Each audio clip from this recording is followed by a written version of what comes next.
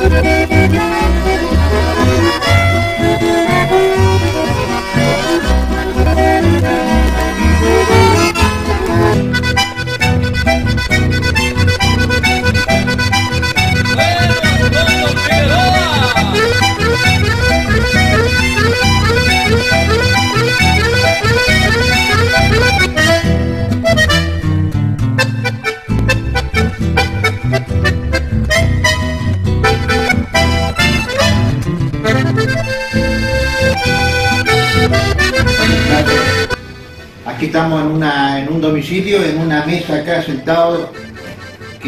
hay muchísima historia. Decía Mecha afuera, Jorge, que deberíamos conocer mucho más de gente como personas tan valiosas en la cultura como Armando Nelly, y se conoce muy poco. Pero lo vamos, nos van a contar seguramente ustedes, que son parientes directos, que saben muchas cosas de él. ¿Puede ser?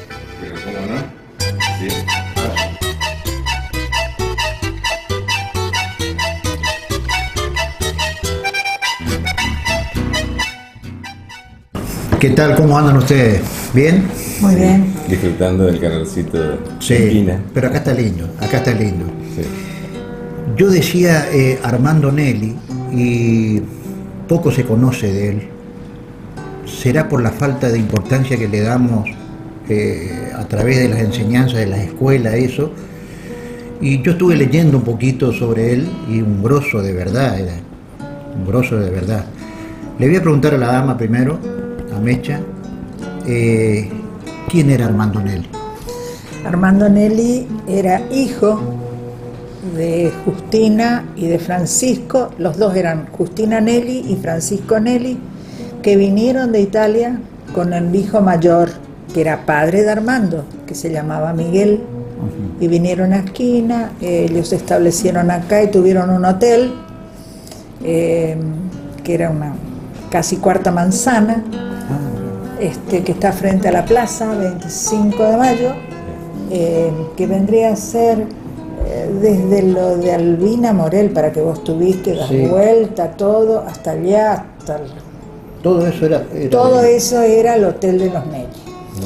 Eh, ese era el- eran los padres de Miguel, que Miguel, eran cinco hermanos, Miguel, eh, ayúdame por Ya María. Bueno, Marieta, Doménica, Benedetta, Flora y, me- y José, José.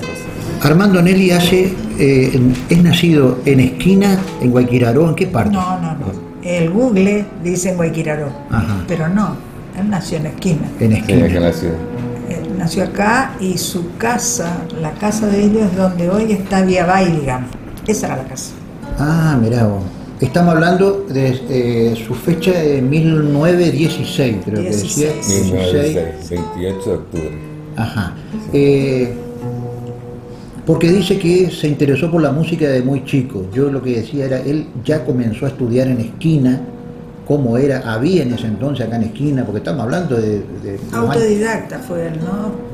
Pero de una familia de músicos y medio artistas, todos. Porque Tío Eduardo era músico. músico, el hermano de él Sí. ah, eh, tocaba el arpa.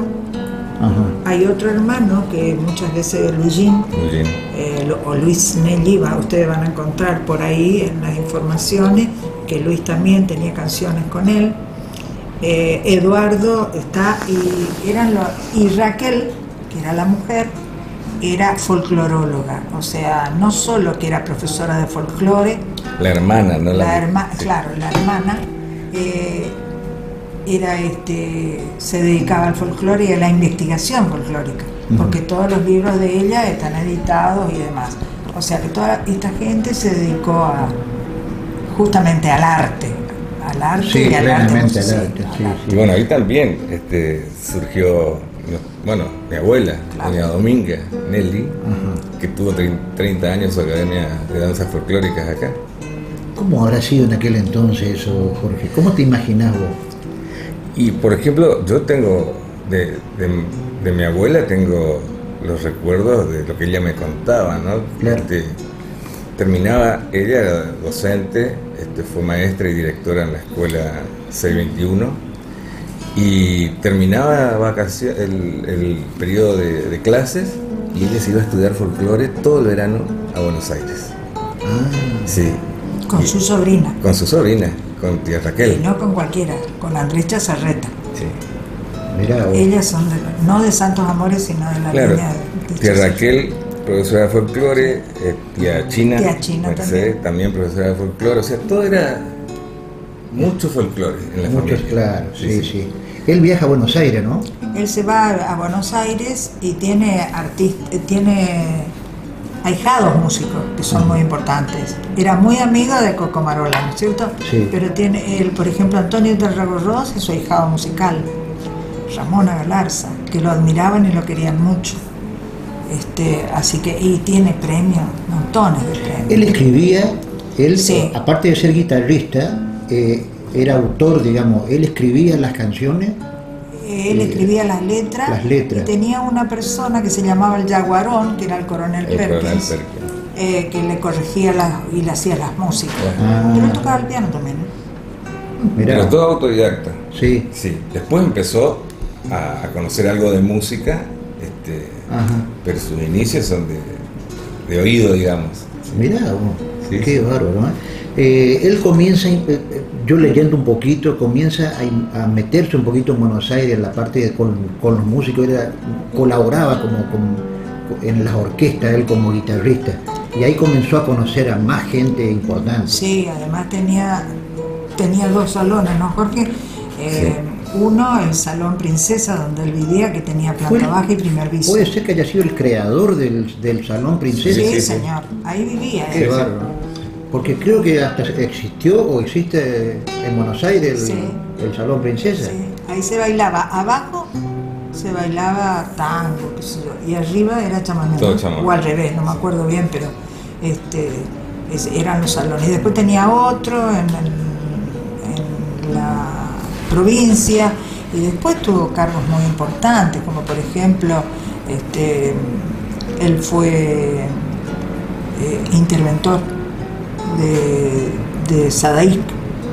Ah, tiene una película por la cual recibió un premio, una película que todo es el chamamé, y es importante saber que a él en la provincia de Corrientes, cuando Corrientes cumplió, la cap- capital de Corrientes, cumplió 400 años en el año 1988, siendo gobernador Leconte eh, y vicegobernador era Feris, Gabriel Feris, eh, emitieron una serie de documentos donde eh, todos culturales, este, donde sobre el rasguido doble, o sea, nuestra música autóctona, nuestra, típica, eh, se hace el estudio sobre el chamamé. Y él aparece dentro de todos estos estudios y las obras que aparecen como homenaje a los 400 años de corriente como una de las figuras más importantes, Armando Nelly. Armando Negro.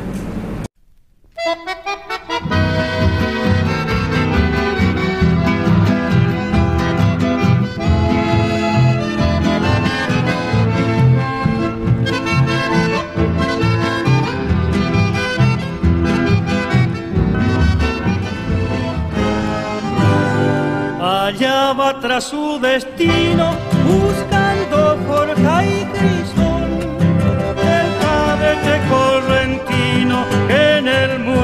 Se alistó. Brilló su sable en Albuera y también brilló baile.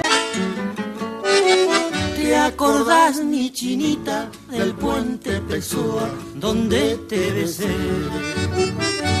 que extasiada en mis labios repetías, no te olvidaré. Creo que hay falta de interés. Yo fui profesora de música, negro, vos sabes bien. Sí, sí. Y bueno, nosotros cuando dábamos música teníamos la obligación en nuestro programa de dar folclore de la provincia de Corrientes. Yo me acuerdo, Jorge lo sabe porque él también lo ha hecho en Buenos Aires. Este, nosotros tenemos la historia de San Martín escrita por Armando Nelly, la historia de San Martín escrita por Armando Nelly, hecha canción. Entonces, nosotros preparábamos eso, pero se, se permitía en la escuela, era obligación que nuestra música autóctona, folclórica, lo que es nuestro de nuestro país, Sí. era aquello que se presentaba, o que presentábamos nosotros era la nacencia, la nacencia de una canción de Armando que cuenta la- el nacimiento de San Martín. Después tenés ¿La habrás escuchado o no la escuchaste? Para que me estoy, me estoy pensando lo que me está diciendo. ¿Cómo, cómo es? La nacencia, La nacencia. dice, con acento indio suena en Yapeyú la canción de cuna de Rosa Sí, Guarú. sí, sí. Belén, Belén, Argentina, porque nos dio al Redentor, del dueño y señor de la América Latina, tierra propicia al amor y a los ensueños ardientes. Vayan hacia ti, mis lirios, altiva y dura corrientes, a perfumar tus martirios y a proclamar tus valientes. Encrespó su lomo el río, sacudiendo el higuero. Llevarás espada y usarás que para gloria, hijo de tu taragüí. Ese es Qué bueno. eh, de Armando. Te pregunto a vos, Jorge, el parentesco con vos, de, ¿cómo viene? O sea, mamá y tu Armando son primos hermanos. ¿Sí? Como igual los- que mi mamá. Claro. Ah. Eh, el mismo parentesco. Eh, pero él tenía una, una especial, este, un especial afecto por mamá. ¿sí? Tal es así que yo me llamo Jorge Armando. ¿sí? Mirá. Este, y fue por tío Armando. Alejandra, este, mi hermana Alejandra Brugué, ella es la ahijada de tío Armando y de tía Leonor. ¿sí? Era muy cercano con nosotros. Este, yo iba a parar al Salón Princesa, por ejemplo. Ahí íbamos los veranos, después íbamos con tío Armando a, a Mar del A Plata. Mar del Plata nos íbamos. Este, sí, sí, éramos muy cercanos. Porque de los sobrinos más allá, yo, yo como yo estaba muy metida acá, eh, yo también estaba muy metida con él. ¿Vos cómo lo recordás a él?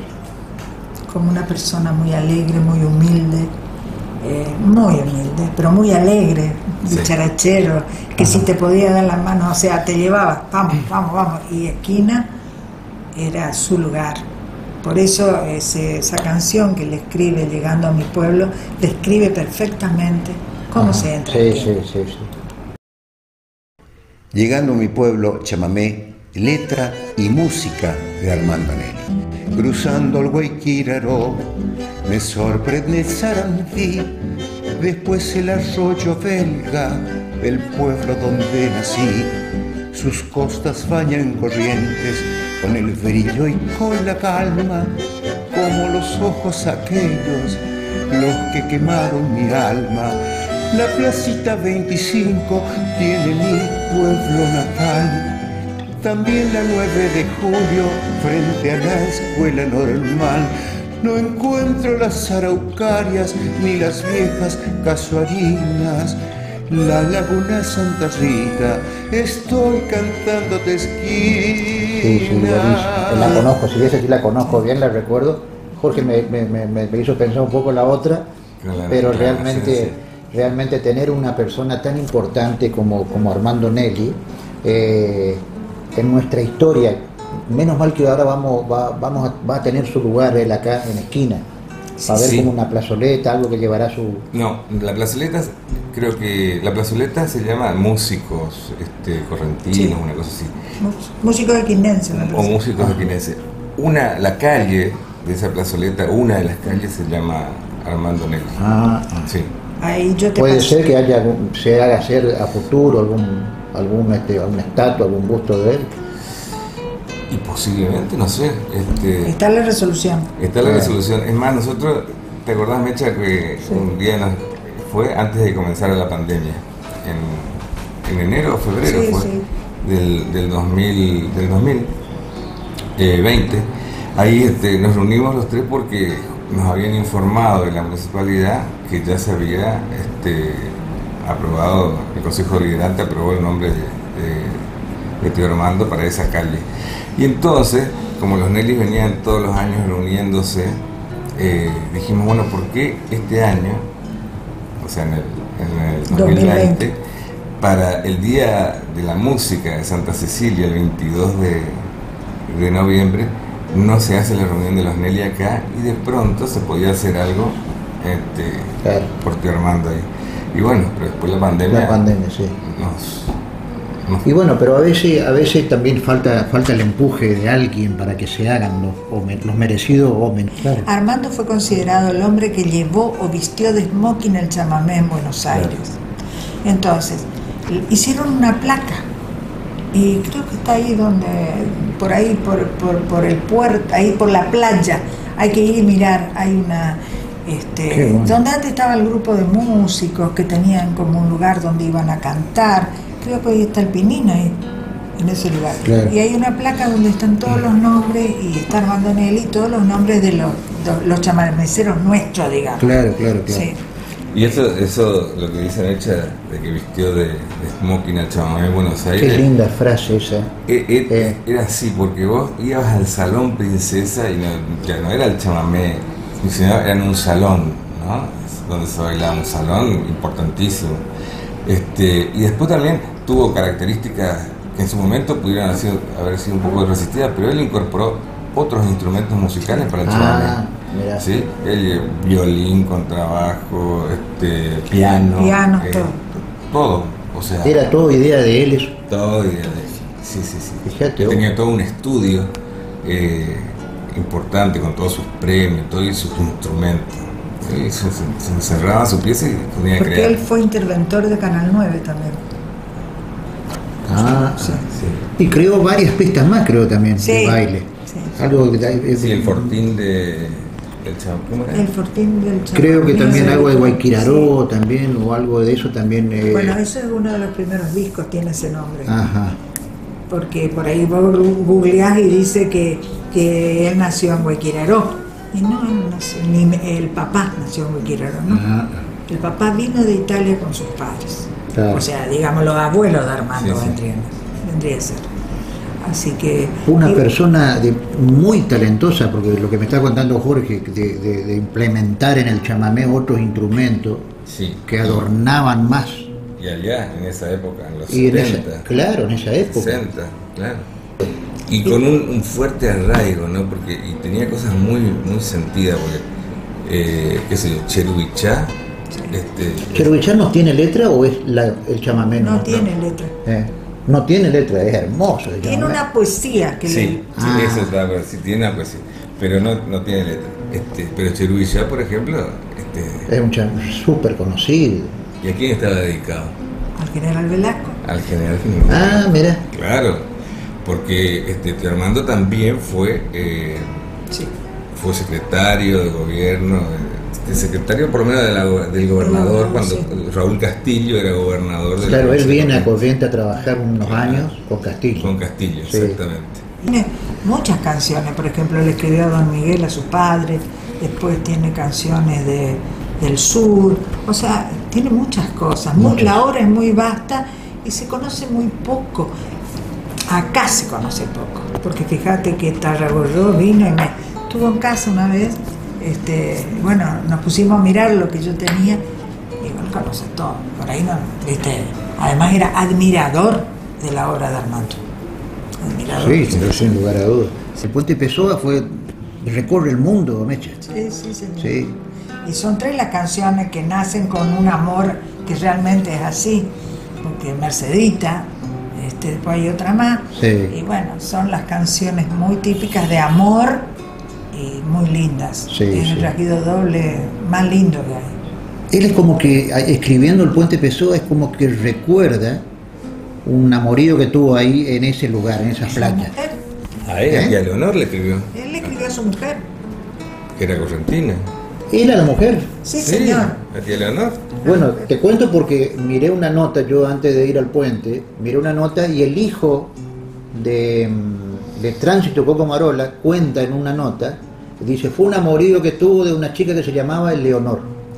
Ahora vos, eh, Es la, la- la mujer de él. la mujer de él. Sí, sí. Qué increíble, ¿eh? Y fíjate que con tránsito, él le regala a la hija.